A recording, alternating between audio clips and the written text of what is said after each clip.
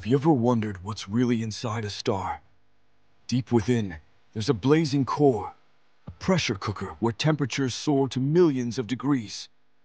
Atoms collide with such force that hydrogen fuses into helium, releasing an incredible amount of energy.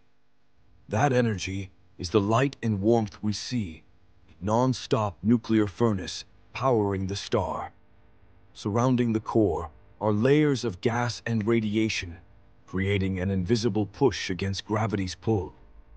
This tug of war shapes a star's size, color, and lifespan.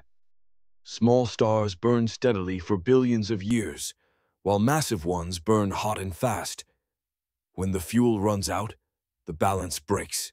Small stars fade into gentle white dwarfs, while massive stars explode as supernovae.